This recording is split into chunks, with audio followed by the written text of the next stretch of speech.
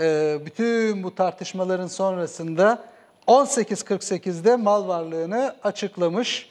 E, Mansur Yavaş sonuna kadar gideceğim demişti. Valla çok bir şey de yokmuş öyle. Yani o kadar çalışmış çalışmış bir şey almamış. Ne kaldıysa babadan kalmış. Ben şimdi listeyi size aktaracağım. Diyor ki Turgut Altınok, ne yazık ki mal varlığım üzerinde bir süredir suni gündemler yaratılarak başkentimize yapacağımız hizmet ve eserlerin üstünün örtülmeye çalışıldığını, projelerimizi gölgeleme çabasına girildiğini, en önemlisi siz değerli Ankaralı hemşerilerimin incittiklerini hissettiğim için mal varlığımı açıklama vakti gelmiştir. Değerli Ankaralılar, içinizde en ufak bir tereddüt olmasın.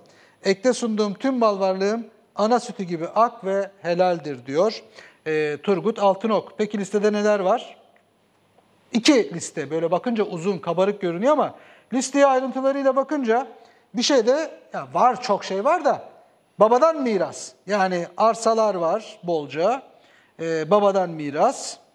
E, bir ev var, e, çiçekli, bağımsız bölüm 1, 2, 3, 4, 5, 6 yani belli ki bir apartman. O da babadan miras. Peki şöyle bir bakayım. Tarlalar var, e, bostan var, onlar da babadan miras. Şehriban Mahallesi'nde tarlalar var bol bol, Aşıkoğlu Mahallesi'nde. Yine kagir bina var, onlar da babadan miras. Her şey babadan kalmış.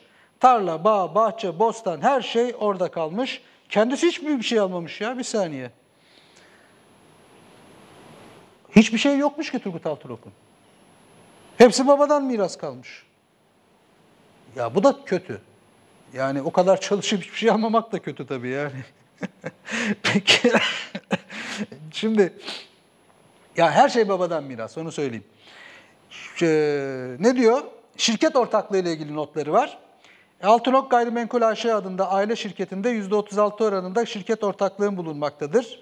E peki bu e, şirketten payıma düşen gayrimenkuller de yaklaşık olarak şu şekilde 183 adet 1 artı 1 daire, ha buradaymış yani babadan kalmayanlar burada, şirket üzerinden e, sahibi olduğu 183 adet 1 artı 1 daireden 67 adet daire, 12 adet dükkandan 4.4 dükkan yani hissesine düşen buymuş. 183 adet daire var ama kendi payı 67 daire, 4.4 dükkan, Yine işte bilmem ne kadar dükkandan pay. Sonra 2009 mal beyanında görülen Antalya dairesi ile ilgili de onu sattım diyor. Diğer hususlar yine babadan kalma şeyler var. Evet, ayrıca kendisine ait de tek bir banka hesabı yokmuş. Yani babadan kalanları saymasak aslında hemen hemen, ha bir de şu daireler var tabii, onlar bir hayli e, para eder e, Altınok mal varlığını açıkladı. Peki, e, böylece bu kadar basit ya. Mülk Allah'ındır deyinceye kadar babadan miras kaldı, listede budur der, açıklarsınız. Ondan sonra e, sahip olduğunuz bilinenlerle açıklananlar karşılaştırılır. E, herkes de işine bakar, gücüne bakar. Niye bu kadar mal varlığı açıklamak insanların zoruna gidiyor ki? Yani bu bunu bir e, tartışma konusu haline getirilmesi e, yine Turgut Bey'in yaptığı açıklamalar nedeniyle ilk gün açıklayabilirdi. Devam edelim şimdi. Dışişleri Bakanı, Milli Savunma Bakanı ve MİT Başkanı üçü birden Irak'a gitti. Dolayısıyla zaten üçünün bir arada yaptığı ziyaret bu ziyaretin ne kadar önemli olduğunu da ortaya koyuyor.